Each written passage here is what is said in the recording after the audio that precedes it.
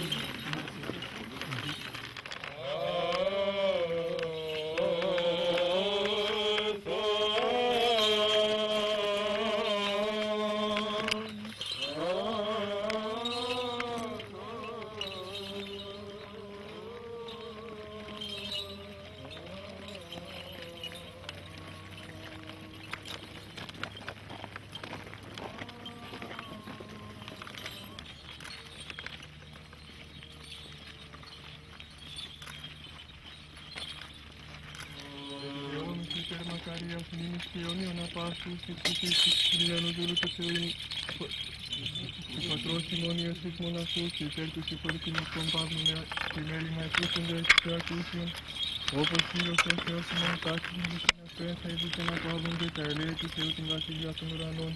Και άφεσιν των εαυτών ματιών παρακριστώ τον θανάτο βασιλείς και ζωή μονετιστό μέσα του Κυρίου Δεήτων.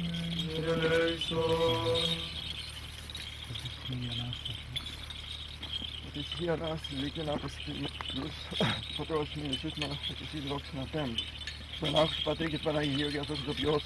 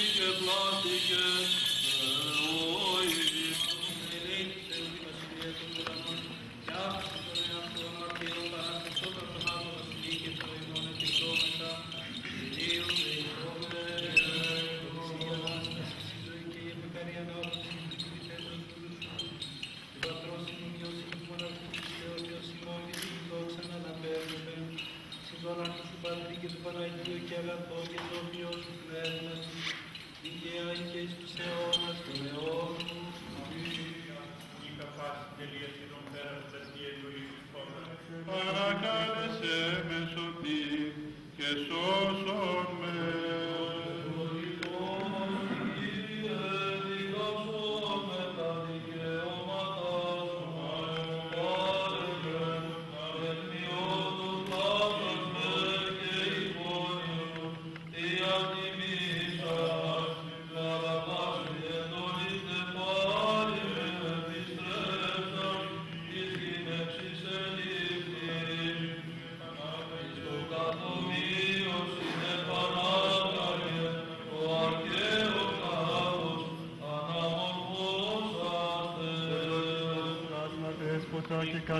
καθάρισον σε ευλαθία Πλάσμα δέσποτα και καθάρισος η εσπλαχνή και την πόθηνην πατρίδα παράσκη πατρίδα παρά παραμύθι πάλι ποιον παραδείσου πολίτημε πάλι Διον πολίτης ευλογητός η Κύριε. Ευλογητός η Κύριε διδοξών με τα δικαιώματα ή την οδόν ή της την οδόν της ενημερίσαντες ενυβαδίσαντες θεσμημένοι πάντες οι ελβίου ή το σταυρό ή το σταυρό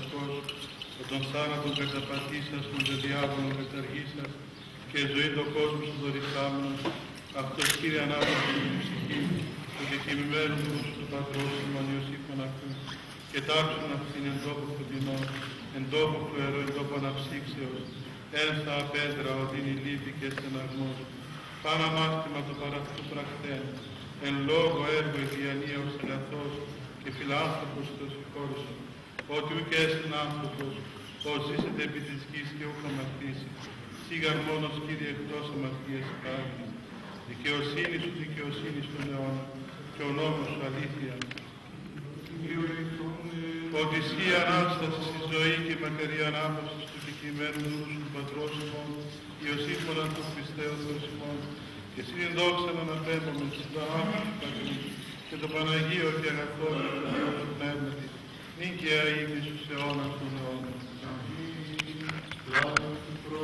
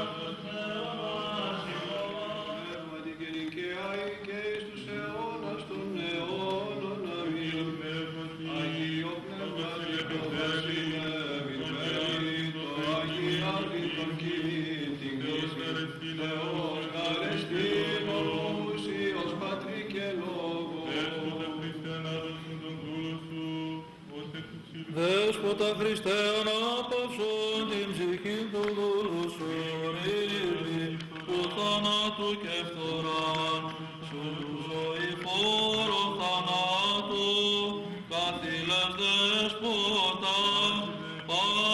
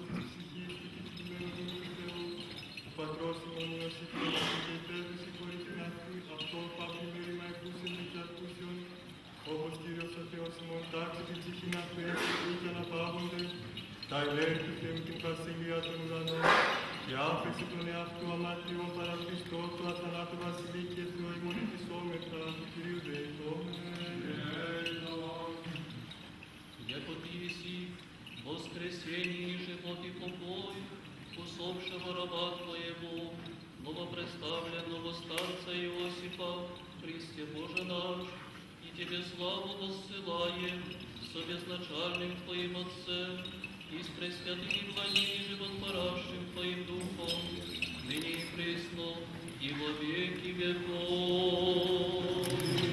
Христос, как Amen.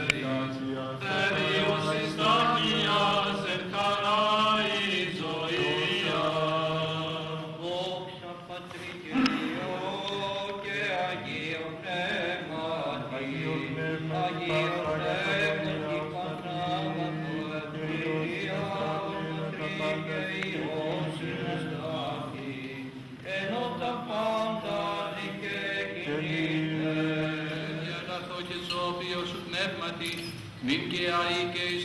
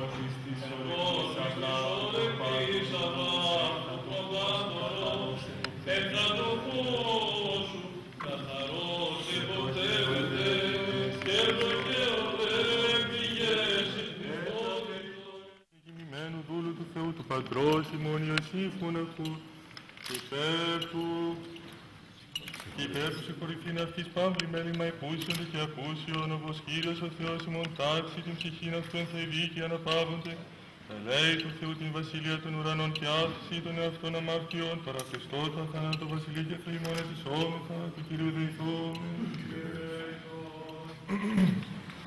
Какие эти вот котления, покой животных, где Божий наш, включая Твой раб, Иосиф, Иосиф, Бог наш, и на Тебе слава Бог, Богам, да шансы Твой, Тебе все блага Твоя, Твой, сега, я Бог, веки η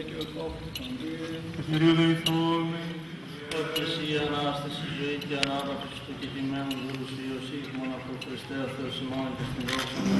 Συγγονάρχου σου Πατρί και του Παναγίου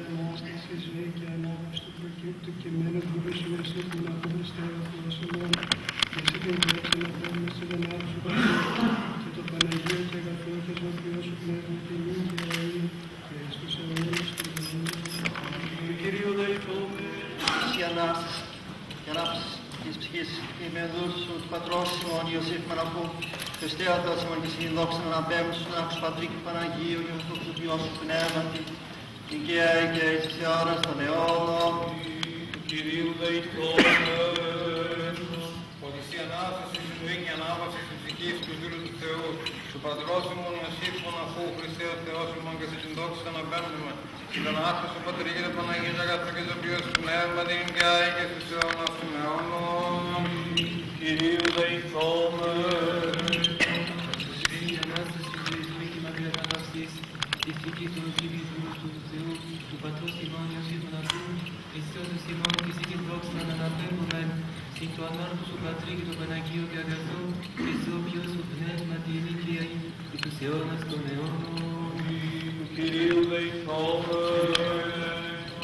Ότι εσύ η Ανάσταση, ζωή και μακριά ανάσταση της ψυχής, του δούλου σου, του Πατρός ημών Ιωσήφ μοναχού, Χριστέ ο Θεός ημών, και στη δόξα να απέμπουμε σε τον Άρχο σου Πατρί και την Παναγία και αγαθό και ζωοποιό σου πνεύμα την ήγια και στους αιώνας των αιώνων. Του Κυρίου δεηθούμε. Εσύ ανάπαυση και μας και μακαριά Η Ανάσταση, ζωή και ανάπαυση της ψυχής του και μείνου του Θεού, του Πατρός ημών Ιωσήφ μοναχού, Χριστέ ο Θεός ημών, και εσύ την δόξα να απέμπουμε στον Άρχο του Πατρί και του Παναγίου και αγαθό και ζωοποιό σου πνεύμα την ήγια και στους αιώνας των αιώνων. Κυρίου δεηθούμε. Ότι εσύ η Ανάσταση, ζωή και ανάπαυση μου δούλου σου του Πατρός ημών Ιωσήφ Μοναχού Χριστέ ο Θεός ημών, και εσύ την δόξα να απέμπουμε στον ονόματο του Πατρί και το Παναγίο και αγαθό και ζωοποιό σου πνεύμα την νίκαια και στους αιώνας των αιώνων. Κυρίου δεηθούμε. Ότι εσύ η Ανάσταση της ζωή και ανάπαυση της ψυχής του κεκτημένου του Πατρός ημών Ιωσήφ μοναχού Χριστέ ο Θεός ημών, και εσύ την δόξα να αναπέμπουμε στον Άρχο του Πατρί και του Παναγίου και αγαθό και του πνεύμα την ήγια και στους αιώνας των αιώνων. Ότι εσύ η Ανάσταση, η ζωή και η ανάπαυση της ψυχής του κεκτημένου του Θεού του Πατρός ημών Ιωσήφ μοναχού Χριστέ ο Θεός, και εσύ δόξα να αναπέμπουμε στον Άρχο του Πατρί και του Παναγίου και αγαθό και στο Θεό σου πνεύμα την ήγια και στους αιώνας των αιώνων. Μετά τον Santo.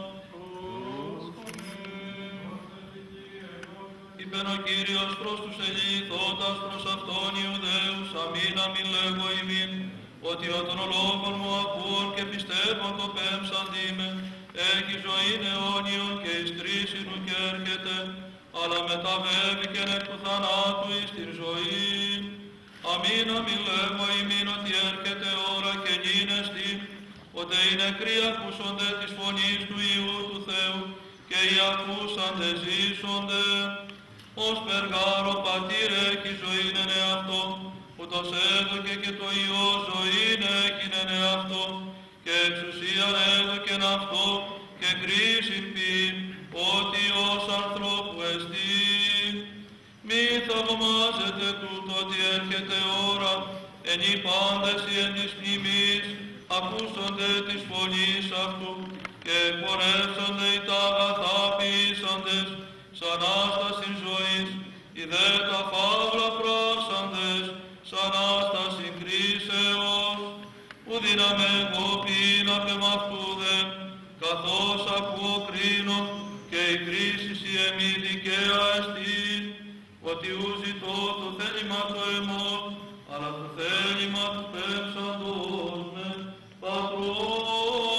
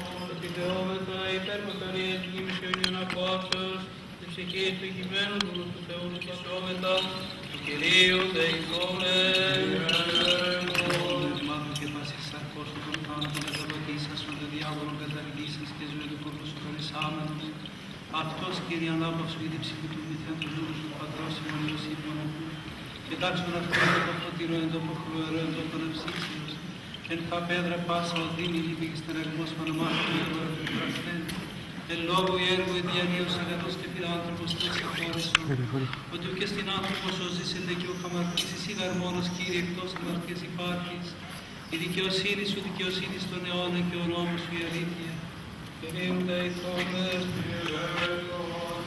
Κύριε ο Θεός ημών, οριστή αρήτως σοφία, δημιουργήσας τον άνθρωπον εκ του χώος, και τούτον αναμορφώσας εις είδος και κάλος, και εξοραίσας ως τίμιο και ουράνιο χτίσμα, εις δοξολογία και ευπρέπειαν της εις δόξης και βασιλείας, δια το κατ' εικόνα και καθομοίωσιν τούτων παραγαγήν, την εντολήν δε παραβάντα του σου προστάγματος και μεταλαβώντα της εικόνος και μη φυλάξαντα, και να μην το κακόν αθάνατο γέννηται φιλανθρώπος και λεύσας, την γράσιν και την μίξιν ταύτην και τον άριχτον σου τούτον δεσμό, ως Θεός των Πατέρων ημών το θείο βουλήματι αποτέμνεστε και διαλύεστε, ώστε την μεν ψυχήν εκεί σε χωρεί, ένθα και το είναι προσελάβετο, μέχρι της κοινής Αναστάσεως, το δε σώμα εις τα εξών συνετέθη αναλύεστε, σου δε όμεθα του ανάρχου πατρός και του μονογενούς σου Υιού και του Παναγίου και ομοσίου και ζωοποιού σου πνεύματος, ή να μην παρήδεις το πλάσμα καταποθήνεται απολία, αλλά το μεν σώμα διαλυθήνε εις τα εξών συνετέθη, την δε ψυχήν καταταγίνε το χορό των δικαίων. Ναι, Κύριε ο Θεός ημών, νικησάντου σου το άμετρον έλεος και η φιλανθρωπία η ανίκαστος, και είτε υποκατάραν πατρός ή μητρός, είτε το ίδιο αναθέματι υπέπεσε ο δούλος σου ούτως, ή την άδων ιερωμένων παρεπίκρανε και παραχού δεσμον άλλη τον ευέξατο, ή υπό αρχιερέως βαρυτά το χωρισμό περιέπεσε, και αμελία και λαθυμία χρυσάμενος, που και έτυχεν συγχωρήσεως, συγχώρησον αυτό διεμού του αμαρτωλού και αναξίου δούλου σου.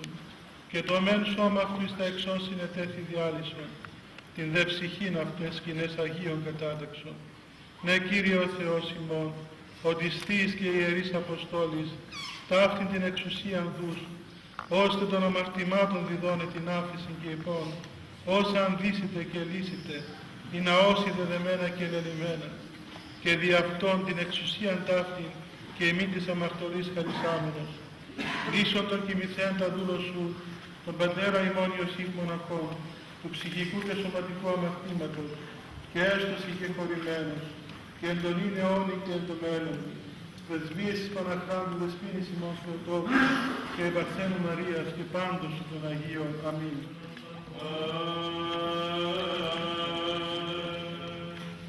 Amen.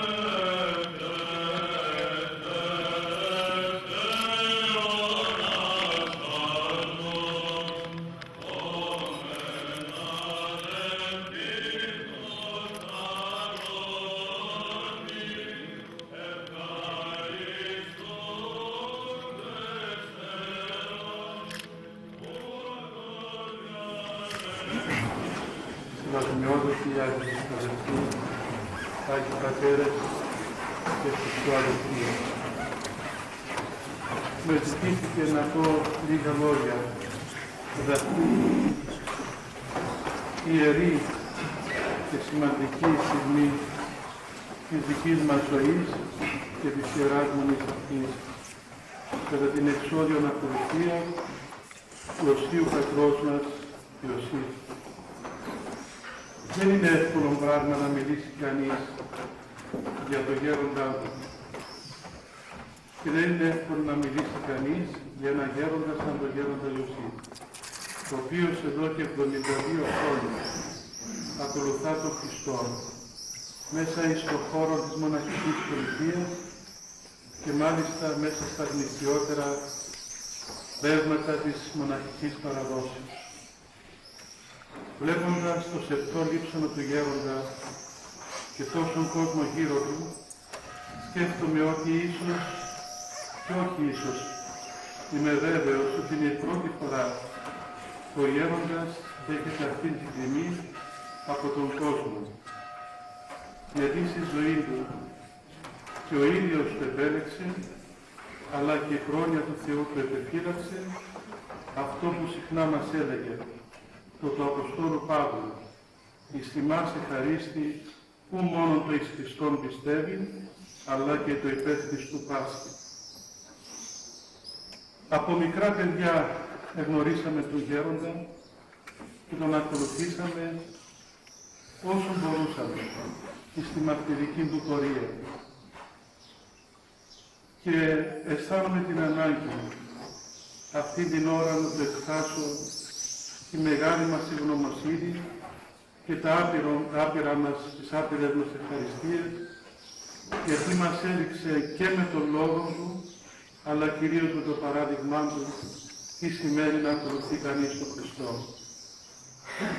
Αλλά και την ανάγκη να του εκφράσω τη μετάνοιά μας και τη συγνώμη μας γιατί στα πολλά χρόνια τα οποία μας ευάσταζε και μας εμεγάλωσε και μας καθοδηγούσε πολλές φορές τον εσλείψαμε και τον εκουράσαμε και τον ελυπήσαμε. Όμως η πατρική του καρδιά δεν ήξερε από αυτά τα πράγματα γιατί χωρούσε τους πάντες αφού χωρούσε τον Χριστό μέσα. Θα παραμείνει μέσα μου συνεχώς αυτή η εικόνα του, που από μικρό παιδί από τότε που το γνώρισα, όταν ήμουν 18 χρόνια, που τον είδα για πρώτη φορά να κοινωνεί τον αχθάντο μυστηρίο, όχι απλώς με δάκρυα, αλλά με λιγμούς και μουσκεμα στα δάκρυα και τόσα χρόνια κοινωνούσε από τα δικά μου χέρια και από τα χέρια των υπολείπων πατέρων, κανείς ποτέ δεν τον είδε να κοινωνήσει χωρίς αυτά τα δάκρυα. Αυτό και μόνο μαρτυρεί την πνευματική του κατάσταση, την οποία ο κόσμος δεν εγνώρισε, αλλά ο Θεός την εγνώρισε. Καθώς αυτής της κατάστασης είναι τα πνευματικά του παιδιά. Είμαστε βέβαιοι ότι ο Γέροντας αναπαύεται σκηνές δικαίου. Ζητούμε την ευχή Του και την προστασία Του. Ζητούμε να έρχεται στον Θεό να μας φωτίσει και να μας καθοδηγεί πάντοτε να μιμούμαστε το παράδειγμά Του. Και τον παρακαλούμε να έρχεται για όλα τα πνευματικά του παιδιά ώστε να βαδίσουμε κι εμείς τον δικό του δρόμο όσον δύσκολος και αν είναι. Γιατί τώρα που ετελείωσε τον βίο του, τώρα καταλαβαίνουμε όλοι και από το λείψανό του και από τη ζωή του ότι έφτασε στο τέλος, έλαβε το βραβείο, έλαβε το στέφανο και ήδη αναπαύεται εν χειρή Θεού. Και αυτό είναι τελικά ο θρίαμβος όπως έλεγε. Το τι θα πει ο Θεός παιδί μου έλεγε την τελευταία ημέρα. Τα λόγια των ανθρώπων είναι μάταια. Ο λόγος του Θεού κατά την εσχά την ημέρα για τον κάθε άνθρωπο αυτός έχει σημασία. Και γνωρίζουμε και είμαστε βέβαιοι ότι ο λόγος του Θεού προς αυτόν τον άνθρωπο ήταν αυτό που μας έλεγε ότι στο τέλος της ζωής μας ο Χριστός θα κοιτάξει εάν τον ακολουθήσαμε και θα μας πει εύδουλε αγαθέ και πιστέ είσερθε στη χαρά του Κυρίου σου. Αυτόν τον λόγο είμαι θα βέβαιη ο γέροντας ήδη τον ήκουσεν από τον Δεσπότη Χριστό και βρίσκεται στη χαρά του Κυρίου του. Ας έχουμε την ευχή του, ας έχουμε την συγχώρησή του, ας έχουμε την ευλογία του και το παράδειγμα του, παράδειγμα αληθινού μοναχού, ας είναι πάντοτε μπροστά μας να μας εμπνέει, να μας φωτίζει, να μας καθοδηγεί. Αμήν. Γιατί κανείς αυτή τη στιγμή φέρνει μέσα του όλα αυτά που έζησε με αυτόν τον γέροντα φέρνει μέσα του την όλη, όπως είπε και ο Σεβασμιότατος Άγιος Ρεμεσού, την όλη αναστροφή με έναν πνευματικό άνθρωπο που τον γνωρίσαμε και είδαμε ότι αγάπησε πολύ τον Θεό και αυτό πραγματικά που μας συγκλώνιζε πάντοτε στις διδασκαλίες και στις κατηχήσεις του ήταν η αφιέρωσή του στη Θεία Μπρόνια.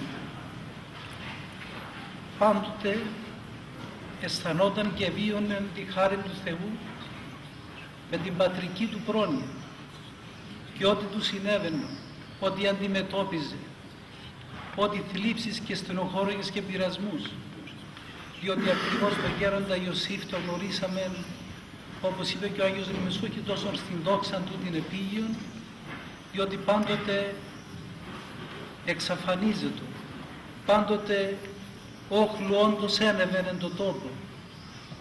Και πραγματικά σε μία αναφάνεια και μέσα σε αυτή την αφάνεια ήταν η μεγαλουργία της αρετής του και της αγιότητός του διότι όταν εκατηγορεί το γέροντας διότι δυστυχώς ήταν ένας άνθρωπος δυστυχώς ή ευτυχώς ήταν ένας άνθρωπος που είχε μια ελευθερία που δεν την έβρισκε σε πολλούς μοναχούς και πολλές φορές παρεξηγείτο. Γι' αυτό και διάφοροι πατέρες και αδελφοί είχαν μια διαφορετική γνώμη για το γέροντα και πολλές φορές μέσα σε αυτή τη διαφορετική γνώμη και θέση πολλές φορές υπέπιπτον ως άνθρωποι στο, στη θέση της παρεξηγήσεως. Γι' αυτός και ο, γέροντα, ο γέροντάς μας τον γνωρίσαμε το να παίρνει το σταυρό του και να δέχεται τις κατηγορίες και τις συκοφαντίες. Και πολλές φορές το ρωτούσαμε πώς αισθάνεσαι για αυτούς τους ανθρώπους που σε κατηγορούν και γνωρίζεις ότι αδίκως σε κατηγορούν. Λέει δεν αισθάνομαι τίποτα εναντίον τους, ούτε μου φαίνεται βαρύ αυτό, διότι πρώτος εγώ κατηγορώ τον εαυτό μου πιο πολύ από αυτούς. Και πολλές φορές τον εβλέπαμε να έρει το σταυρό και εμείς ήδη απορούσαμε πώς το αντιμετωπίζει, πώς το θεωρεί. Και η διάθεσή του ήταν τέτοια που νομίζουμε ότι άλλος φέρει τον πειρασμό και όχι αυτός. Και πάντοτε εστρέφεται προς τον Χριστό. Πάντοτε μας μας κατηγορούσε να έχουμε έρωτα εις τον Χριστό και θυμούμε αυτό που έλεγε το κέντρο της αγάπης μας είναι ο Χριστός. Τίποτε να μην κατακτήσει την καρδιά σας άλλον δι, το οποίο λέγεται Χριστός. Γι' αυτό και στα 50 χρόνια του πνευματικού του πατρός τον παίρνει ο ίδιος ο πνευματικός του πατέρας και πηγαίνει σαν αγκάλας του Θεού και μας έλεγε ότι η μεγαλύτερη ευλογία από τον Θεό που βρήκα στη ζωή μου είναι να έρθω στο Άγιον Όρος και να γνωρίσω τον γέροντά μου που δεν ήταν ένας συνηθισμένος πνευματικός άνθρωπος αλλά ήταν ένας άνθρωπος ιδιασμένος και όπως μας έλεγε ποθούσα να έρθω στον Άτονα και να βρω από αυτούς που μελετούσα και διάβαζα και βρήκα αυτόν τον άνθρωπο που πραγματικά και με την ευχή του και με την προσευχή του και με την προστασία του και με την κατήχησή του. Κατόρθωσε να μου δώσει αυτά που ζητούσα ώστε μας έλεγε πολλές φορές να διανοίγεται ο νους μου και έτσι να ενεργεί η Πεντηκοστή όπως έλεγε πολλές φορές ώστε εγώ αγράμματος ο οποίος δεν πήγα ούτε τρίτη δημοτικού να μου ανοίξει ο Θεός το νου και να γράψω τόσα θεολογικά βιβλία και με, με τόσο θεολογικό βάθος. Και αυτό ακριβώς ήταν η χάρη του γεροντά μας που πιστεύω ότι αναπαύεται εν ουρανής και ναι μεν μπορεί να το χωριζόμεθα γιατί είναι πολύ συγκλονιστική στιγμή το να χωρίζεται ένας από ένα πνευματικό του πατέρα διότι όπως λένε οι πατέρες η πνευματική σχέση είναι πολύ πιο στενή και πολύ πιο στερή από μια εξαίματο σχέση. Και μάλιστα από έναν άνθρωπο που μας έδειξε την τόση αγάπη του, την τόση πατρική του στοργή και με τόση υπομονή μας υπέμεινε όλους με τις αδυναμίες μας και, με, και με, με τα ελαττώματά μας. Πολλές φορές όταν μας έβλεπε και κάναμε κάτι μπορεί να έλεγε μερικά λόγια και πραγματικά να εξέφραζε τη δυσφορία του για το ότι δεν, δεν εφερθήκαμε καλά. Αλλά όταν τον αντιμετωπίζαμε και πηγαίναμε να τον δούμε κατά μόνας, τότε βλέπαμε την πατρική του αγάπη και τη στοργή και πράγματι πόσο προσευχόταν για μας να ξεσκοτιστούμε όπως έλεγε και να βρούμε το αληθινό νόημα της ζωής. Και εγώ με τη σειρά μου και εκ μέρους όλης της αδελφότητας θέλω να τους ζητήσω συγγνώμη για όλα όσα του λυπήσαμε. Γιατί για 28 χρόνια μαζί είναι οπωσδήποτε δεν φερθήκαμε όσον θέλει ο Θεός και όσον πρέπει.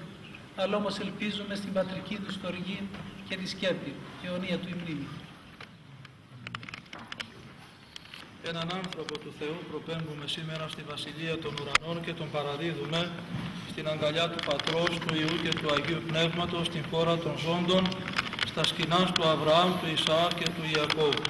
Και ο άνθρωπος του Θεού όπως μας τον παρουσιάζει η Αγία Γραφή είναι ο άνθρωπος της πίστεως, της αγάπης, της προσφοράς, της συγχωρητικότητας. Ο άνθρωπος αυτός, ο οποίος αγαπά πάνω απ' όλα και πέρα απ' όλα του Θεό, ο άνθρωπος ο οποίος επικοινωνεί δια της προσευχής με το Θεό, χρησιμοποιεί ως όχημα την προσευχή και φτάνει, στους, φτάνει στον θρόνο του ουρανίου Πατρός, ο άνθρωπος εκείνος ο οποίος μιμήθηκε και μιμείται κατά πάντα τη ζωή του Χριστού. Αντιγράφει, όπως τα πει ο Άγιος Ιωάννης ο Χρυσόστομος, τη ζωή του Κυρίου μας Ιησού Χριστού. Ακριβώς αυτός ο άνθρωπος του Θεού ήταν και ο γέροντας Ιωσήφ, τον οποίον προπέμπουμε στην Βασιλεία των Ουρανών. Όχι μόνο η βαθιά του πίστης, όχι μόνο η αγάπη του προς την Εκκλησία και προς τον μοναχισμό, όχι μόνο η προσευχή του, αλλά συγχρόνως και η συγχωρητικότητα είναι αυτές οι αρετές οι οποίες τον καταξίωσαν και στη συνείδηση του Αγίου Όρους, αλλά ήδη τώρα απολαμβάνει τα αγαθά τα οποία έχει ετοιμάσει ο Θεός της αγαπώσιν αυτών και έχει ήδη ακούσει την φωνή του Κυρίου Ιησού Χριστού, όπως είπε ακριβώς προηγουμένως και ο Πανιερότατος, Εβδούλε αγαθέ και πιστέ, επί ολίγα εις πιστός, επί πολλών σε καταστήσω, εισέλθε εις την χαρά του Κυρίου σου. Από τον θρόνο εκεί της Παναγίας Τριάδος, από την χώρα των ζώντων, θα προσεύχεται για την, τα πνευματικά του τέκνα, για τους επισκόπους, για την αδελφότητα της Ιεράς Μονής του Βατοπεδίου, για ολόκληρο το Άγιον Όρος και για εκείνους οι οποίοι ήρθαν σήμερα και από το Άγιον Όρος αλλά και από τον κόσμο να ασπαστούν το χέρι του και να λάβουν για τελευταία φορά την ευχή του. Ας είναι αιωνία του η μνήμη και ας μας συνοδεύουν οι ευχές του.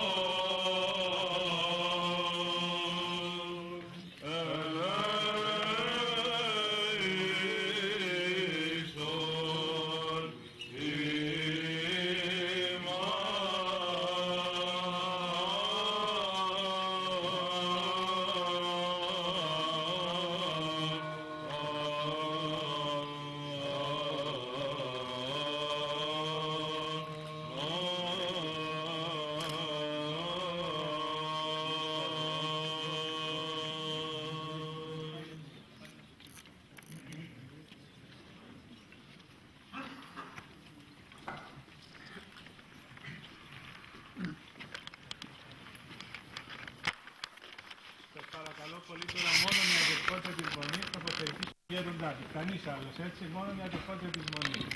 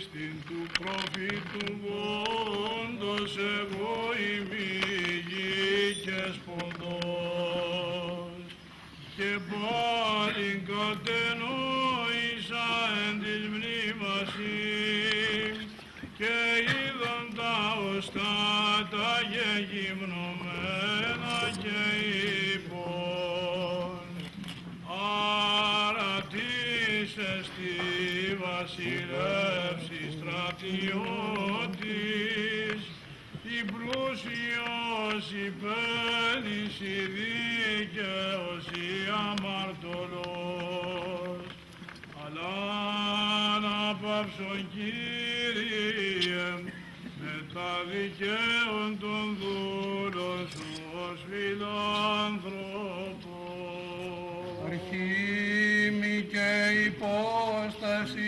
Στο πλαστοργό σου γέγονεν πρόσταγμα βουληθείς γαρεξα οράτου τε και ώρα της μεζών συμπήξε φύσεως. Γήθε μου το σώμα διέπλωσας. Δε δόκας δε μη ψυχή τη θεία σου και ζωπίο έτος Good.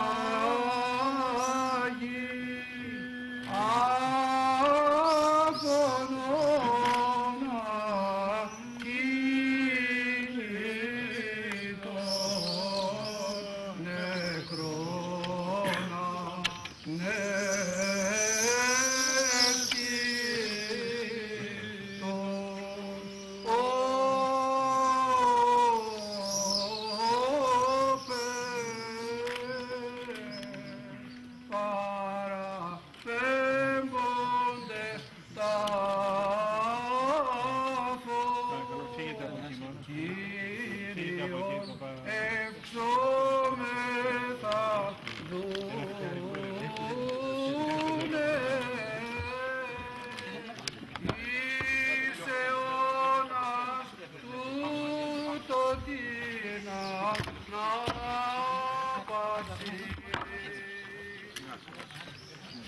Σιγά σιγά μην βγαίνει.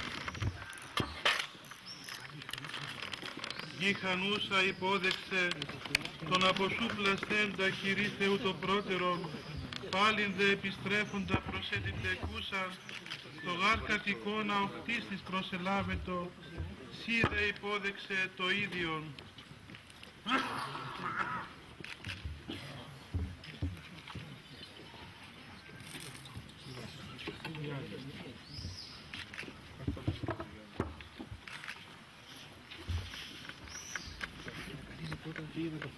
conseguido.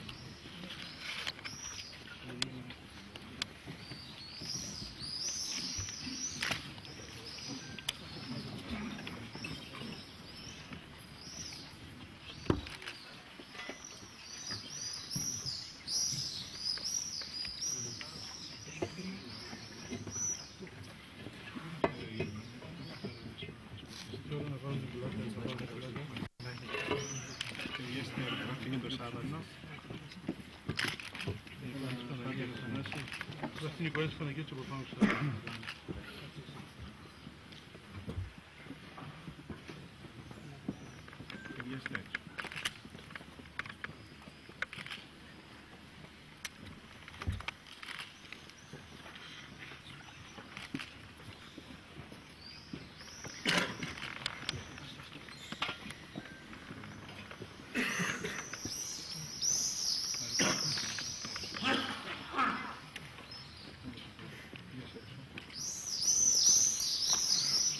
του Κυρίου η γη και το πλήρωμα αυτή, οι οικουμένοι και πάντες οι κατοικούντες εν αυτή.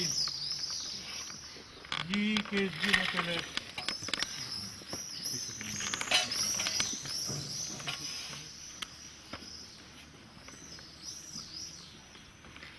Το τύπο του σταυρού σου φιλάνθρωπε, ο θάνατος νενέκρονται και ο άδης σκύλευτε και οι πάλεθαν έντες αναστάντες ύμνωση προσέφερον.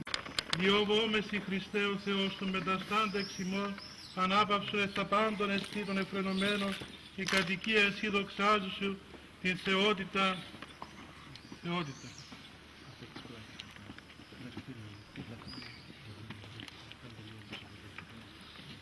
Πνευματική μου αδελφοί, μη με πειλάθιστε όταν προσεύχεστε.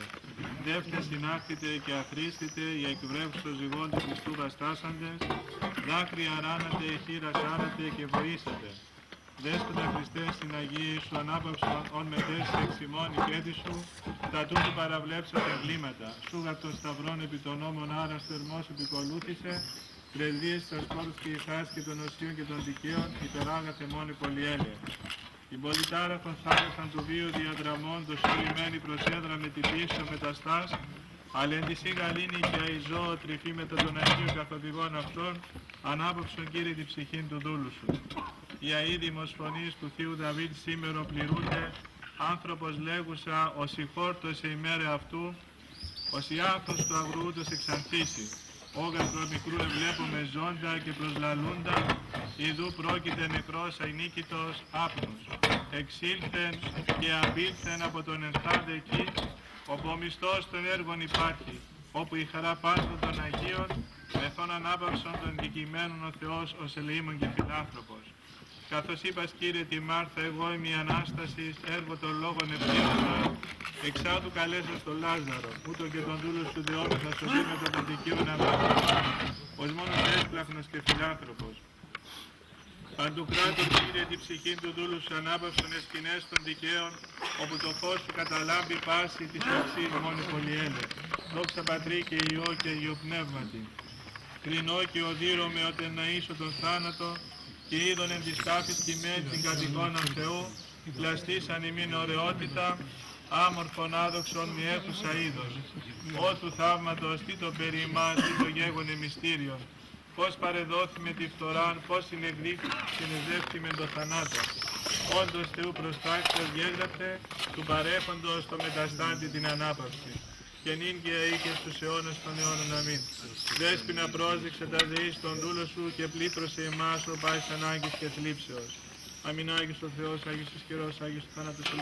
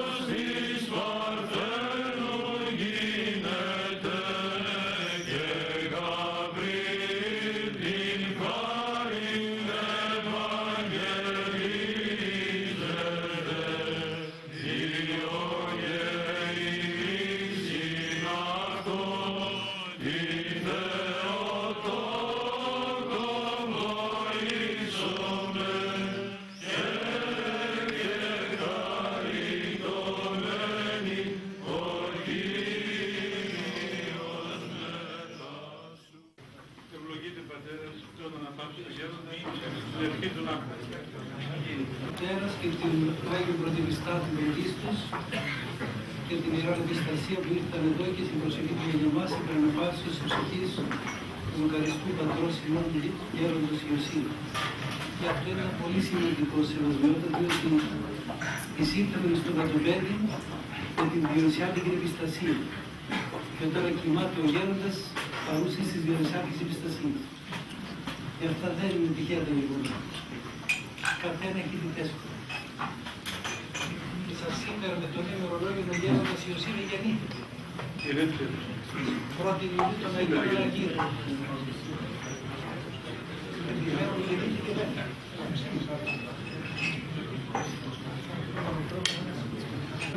Σεβασμιότατη, αγαπητέ μου γέροντα, κατηγούμενοι της Ρώμης Βατοπεδίου, θα μας επιτρέψετε και εμάς να εκφράσουμε τη συμπάθεια στην αδελφότητα και στα πνευματικά τέκνα του γέροντος Ιωσήφ για την εκδημία του χθες και για την εξόδια ακολουθία σήμερα, αλλά ταυτόχρονα όχι μόνο τη συμπάθεια, αλλά και εμείς που γευθήκαμε από το δικό του πνεύμα, της ευχαριστίας μας και της ευγνωμοσύνη για τον γέροντα, γι' αυτό ακριβώς που ήταν ο γέροντας ένας αληθινός πατέρας και ένας αληθινός μοναχός. Και φυσικά σήμερα, η μέρα αυτή που όπως μου είπε ο γέροντας καθοδόν, είναι η μέρα συγκλονιστική για, το, για την αδελφότητα και είναι η μέρα θα λέγαμε δακρύων γιατί φυσικά ανεπόρσε, χάσαμε κατά κάποιον τρόπο έναν άνθρωπο πνευματικό, έναν άνθρωπο που έζησε ανάμεσά μας, αλλά ταυτόχρονα είναι και η μέρα παρηγορίας, γιατί ακριβώς ανεπόρησε για τους ουρανούς για αυτό που ήταν προορισμένος. Και μας παρηγορεί για αυτά που ακούσαμε στην ακολουθία, αλλά και γιατί ακριβώς αποκτήσαμε έναν μεσίτη στον ουρανό, έναν καινούριο μεσίτη, ο οποίος θα μεσητεύει και για τη δική μας πρόοδο και για τη δική μας άνοδο στους ουρανούς. Και για σας γέροντα, και σεβασμιότατε και γέροντα, ο γέροντας Ιωσήφ ήταν ο πατέρας σας, ήταν ο πόλος γύρω από τον οποίο κινήθηκε όλη η ζωή σας από παλιά μέχρι τώρα και όπως ξέρουμε ο γέροντας είναι η αναφορά της ψυχής μας, η αγάπη μας. Αν θέλετε είναι ακριβώς ό,τι είναι ο γέροντας είναι και ο υποτακτικός, όταν χαίρεται εκείνος χαίρονται και οι υποτακτικοί, όταν πονάει εκείνος πονάνε και αυτοί και για σας δεν ήταν αυτό. Για μας όμως ήταν το παράδειγμα ενός αληθινού μοναχού και όλοι δεν νομίζω ότι υπάρχουν πολλοί που δεν έχουν αυτή την εμπειρία από τον γέροντα. Έχουμε δεχθεί και την ευλογία του, πήραμε και την ευχή του, ακούσαμε και τον λόγο του, τον παρηγορητικό του λόγο και οπωσδήποτε όταν ερχόμασταν εδώ στο Άγιον Όρος από μικρή, πάντοτε θα περνούσαμε από το καλύβι του και πάντα θα παίρναμε έτσι δύναμη και πραγματική, πραγματική αγάπη για τον Θεό. Τη μετέβηνε με το ζήλο του, με τα λόγια του και με το παράδειγμά του. Γι' αυτό λοιπόν εκ βάθους ψυχής πραγματικά είμαστε ευγνώμονες σε αυτόν τον άνθρωπο που τελικά τίμησε το Άγιο Όρος. Το εκόσμησε, ο Θεός τον φανέρωσε σε αυτή την εποχή, ο ίδιος λοιπόν όμως του έδωσε και πολλά παθήματα, αλλά ο ίδιος και τον στόλισε και τώρα θα του χαρίσει την αιώνιο ζωή. Και επειδή συνδεόταν πολύ με τον γέροντα Λιβιανό και πολλές φορές όταν ήρθαμε στο Άγιον Όρος, πολλές φορές είχε περάσει από το μοναστήρι μας και πολλές φορές είχαμε συζητήσεις πνευματικές και πρακτικές με τον γέροντα γι' αυτό θυμάμαι δύο πράγματα από τον γέροντα. Θυμάμαι και πρέπει να τα πω αυτά έτσι για να τα ακούσουν ότι ο γέροντας ήταν η μεγάλη του χαρά όταν έβλεπε μοναχούς οι οποίοι αγαπούν τον Θεό. Δεν υπήρχε μεγαλύτερη χαρά να βλέπει άνθρωπο που, είναι, που θέλει την άσκηση, που θέλει την προσευχή και θέλει την αγάπη στον Θεό. Αυτό ήταν ένα χαρακτηριστικό του που το βλέπουμε καθημερινά. Και ένα άλλο που μας έμεινε τουλάχιστον στη δική μας συνείδηση είναι ότι ο γέροντας δεν έχανε και στα πιο, στις πιο δύσκολες στιγμές που τον είδαμε δεν έχανε την ειρήνη και την χαρά. Δεν τον είδαμε ποτέ και εδώ και στη Νέα Σκήτη και στα μοναστήρια και εδώ στο καλύβι του δεν μας μετέδιδε πάντοτε την ειρήνη, τη χαρά και την εμπιστοσύνη στο Θεό. Και αυτό λοιπόν αυτό το χαρακτηριστικό του ήταν που μας ενέπνεε και εμάς να συνεχίσουμε εδώ τον αγώνα. Λοιπόν, και ο Θεός τον άνοιξε και ήδη και τους κόπους του να αμείβονται και, και έτσι να φτάνει και εκείνος να, όπως ακούσαμε στην ακολουθία, να φτύρεται το σώμα αλλά να δέχεται πλέον την αυθαρσία. Και ο Θεός λοιπόν να τον αναπαύει στους ουρανούς εκεί που ήταν πάντοτε ο πόδος του και που ήθελε αυτά τα δύο πράγματα να βλέπει τους μοναχούς να αγαπούν τον Θεό και να βλέπει τον λαό να, είναι, να αναγεννάται πνευματικά. Αλλά όπως θα το καταλάβει σεβασμένο το εκεί που είναι τώρα, ότι η ανακαίνιση είναι στα έσκατα και όχι σε αυτή τη ζωή. Εδώ θα παθαίνουμε και θα ταλαιπωρούμαστε και εκεί θα αναπαυστούμε. Γι' αυτό λοιπόν μαζί με τη συμπάθεια συνδεσμεύεται με τις ευχαριστίες μας και μαζί έχουμε την ευχή του Γέροντος και της πρεσβείας του, ούτως ώστε αυτόν τον κόπο που έκανε εκείνος να τον συνεχίσουμε εμείς και οπωσδήποτε να τον δικαιώσουμε γιατί και εμείς μπήκαμε, ακολουθήσαμε τον ίδιο δρόμο της μοναχικής ζωής. Ο αιωνία η μνήμη του Γέροντος.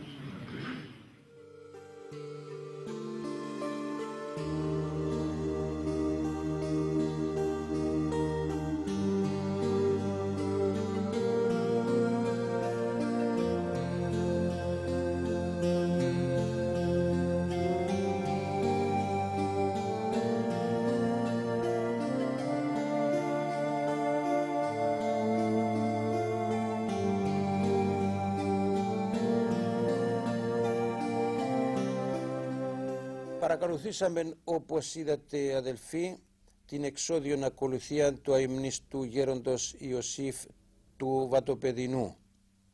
Και είναι πραγματικά πολύ συγκλονιστική. Και μόνο το θέαμα της όψης του προσώπου του γέροντος αυτό μας αλλοιώνει εμείς εγνωρίζαμε τον Γέροντα τα τελευταία χρόνια όπου ύστερα από τη δοκιμασία της ασθενείας του και οι όψεις του ακόμα σκελετωμένος όπως ήταν δεν ήταν όπως φαίνεται εδώ όπου το είδαμε στην οικηδία. Και θέλετε να σας πω και κάτι άλλο.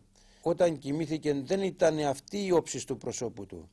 Ο αείμνηστος γέροντας Ιωσήφ όταν κοιμήθηκε ε, είχε ένα είδημα από ε, ουρολίμωξη και επειδή από πολλά χρόνια έπασχε με καρδία τον επρόδωσε όπως λέμε κατά το ανθρώπινο η καρδία και δεν άντεξε τον πόνο και έφυγε με ένα πόνο δυνατό ανοίγοντας το στόμα του και αφήνοντας αυτή, την τελευταία του αναπνοή με τον πόνο αυτό. Φεύγοντας η τελευταία του αναπνοή μαζί με την ψυχή του έμεινε το στόμα του ανοιχτό και το πρόσωπο του ήταν γεμάτο, γεμάτο μόλοπες. Κατόπιν έκλεισε φυσιολογικά μόνο το στόμα του, μόνο του και άλλαξε νιώψεις επήρε αυτόν το γλυκό που βλέπετε το χαρμόσυνο και το χαριτωμένο που όταν προσκυνούσαμε πραγματικά ε, αισθανόμαστε, αντλούσαμε χάρη. Στην κηδεία του είχαν παραστεί όπως είδατε πλήθος κόσμου μεταξύ των οποίων ήταν και ορισμένοι αρχιερείς και από τα μοναστήρια εκπροσώπηση νομίζω από όλες τις ιερές μονές μεταξύ των οποίων είχαμε και αρκετούς καθηγουμένους και μάλιστα ήρθε και ο, ο πρωτεπιστάτης του Αγίου Όρους ο Σημειών ο Διονυσιάτης. Όπως θα είδατε εκεί πέρα στην εξώδιον ακολουθία και ετοίμησαν όλοι έδωσαν των τελευταίων ασπασμών στον Άγιον αυτό γέροντα και μαζί με τις τιμές που του έκαναν ε, κάναμε και τη θερμή παράκληση να μην ξεχάσει τα πνευματικά του τέκνα στη Μονή Βατοπεδίου αλλά και όλους εμάς τους μοναχούς που είμαστε πνευματική ρίζα και του γέροντος Ιωσήφ του Ισυχαστού και γενικά ανήκουμε στο τάγμα των μοναχών. Αλλά όπως ήταν και αυτός ευρύς νους και ενδιαφερόταν για όλη την Εκκλησία να εύχεται και από εδώ, από τον ουρανό πολύ περισσότερο.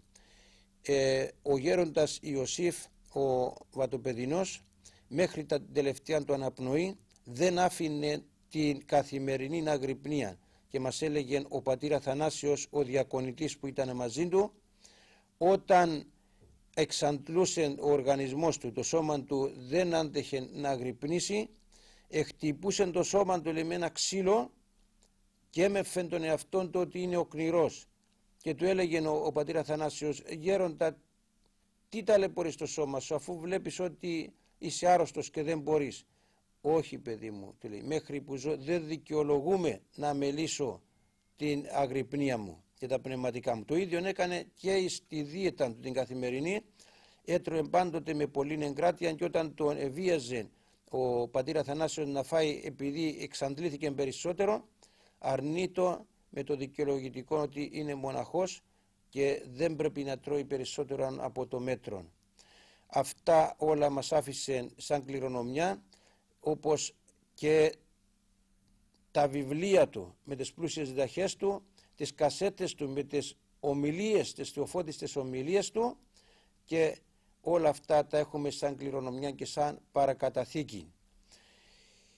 Συνεψάλαμε με τους Αγίους Αρχιερείς και όλους τους πατέρας και αδερφούς την εξόδιον ακολουθία εδώσαμε τον τελευταίο ασπασμόν και σαν επισφράγισμα μετά από το αιωνία αυτού η μνήμη εψάλαμε το τυπερμάχο και το, το απολυτίκιο της μονής του Ευαγγελισμού στο οποίο είναι αφιερωμένη η Ιερά Μονή Βατοπεδίου και έκαναμε τρόπον να ε, μεταβάλαμε τη λύπη σε χαρμολύπη εκεί όπου όλοι μας ασφαλώς ανθρωπίνως ελυπηθήκαμε για την εκδημία του γέροντος όμως ήταν τόσο έντονη η παρουσία του και η Θεία Χάρις την οποία εζήσαν όλοι οι παριστάμενοι όπου μετετράπη εκεί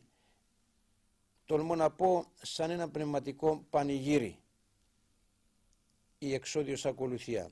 Και με αυτόν τον τρόπο αποχαιρετήσαμε στην τελευταία κατοικία το γέρονταν Ιωσήφ όπου κατ' εξαίρεση ο ηγούμενος έδωσε εντολή ο σαν ανακαινιστή και σαν δεύτερο κτήτορα της Μονής Βατοπεδίου να το θάψουν μέσα στη Μονή έξω από το ιερό της Εκκλησίας του Καθολικού της Ιεράς Μονής που όπως είδατε εκεί ε, στην προβολή είναι ο μεγάλος ναός της Μονής Βατοπεδίου, ο διάδρομος η αυλή και δίπλα εκεί κάτω από τις σκάλες επαναπάβεται τώρα το σκήνομα του αιμνίστου γέροντος Ιωσήφ.